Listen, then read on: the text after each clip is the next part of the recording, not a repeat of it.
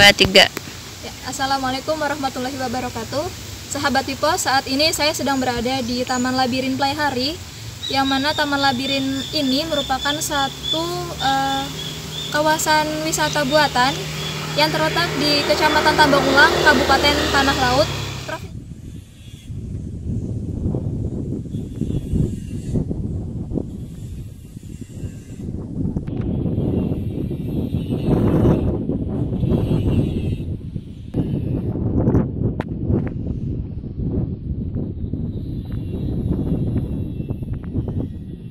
Daya tarik utama dari Taman Labirin ini adalah saat masyarakat atau wisatawan yang berkunjung merasakan langsung sensasi untuk menemukan jalan keluar dari lorong-lorong tanaman yang menyerupai labirin ini.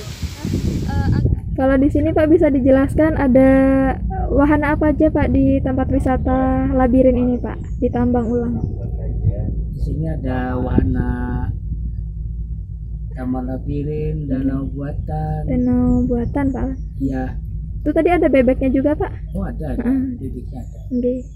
Itu ada kebun kebun juga tadi Pak ada Pak. Iya kebun kebun rebutan, kebun limau, Oke. Hmm. durian, kebun sawit. 2014 kali mas.